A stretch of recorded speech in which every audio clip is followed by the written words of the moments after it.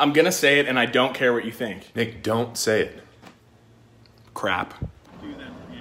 Mr. Patterson, can you help me tie my shoe? Yeah, of course, no problem. Thank you, Mr. Patterson. Wait, that's my dick! For everybody saying I fell off, yeah, I did fall off the bed after I ate your dad's ass. That's your froggy ass. I am going to commit suicide. Are you looking for a fast, reliable internet connection?